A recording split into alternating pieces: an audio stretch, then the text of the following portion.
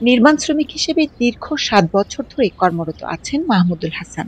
প্রতি মাসেই উপার্জনের একটি অংশ পাঠান দেশে আর ঈদের সময় চেষ্টা থাকে বেশি করে টাকা পাঠানোর। বৈধভাবে টাকা পাঠালে একটা সুবিধা আছে। সরকার আহ, কে ধন্যবাদ জানাই তারা আমাদেরকে আড়াই পার্সেন্ট মুনাফা দিয়ে থাকে।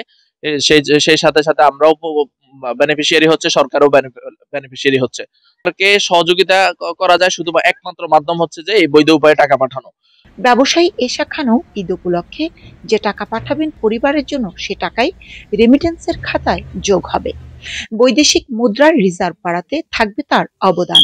তাই বৈধ পন্থায় দেশের জন্য পাঠাতে চান টাকা। সে অবশ্যই টাকা পাঠায় দেশে মা বাবা থাকে আত্মীয় স্বজন থাকেন দেশকে খুব মিস করি। ঈদের সময়টায় বেশি মিস করি। দেশের সবার জন্য অনেক ভালোবাসা। বৈধভাবে টাকা পাঠান, এতে বাংলাদেশের অর্থনীতি অনেক দূর এগিয়ে যাবে।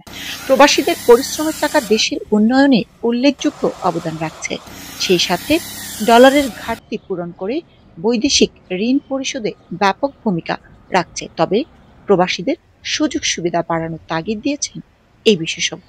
তাদের এই ইন্টারেস্টগুলা তাদের সাথে যোগাযোগ করে প্রবাসী মহলের সাথে যত্নবান হবেন এটা আমরা আশা করব। তেমনি ভাবে তাদের অন্য কি দাবি দেওয়া আছে সেগুলা সরকারকে পৌঁছে দেওয়া এবং সেক্ষেত্রে সরকারের অত্যন্ত সজাগ হয়ে সেইটা সমাধানের চেষ্টা করা এটা আমি অত্যন্ত ন্যায্য দাবি মনে করি। তবে দেশের বিরুদ্ধে নানা অপপ্রচার চালিয়ে কেউ কেউ বিভ্রান্তি ছড়িয়ে প্রবাসীদের বৈধ উপায়ে রেমিটেন্স পাঠানো নিরুৎসাহিত করছে।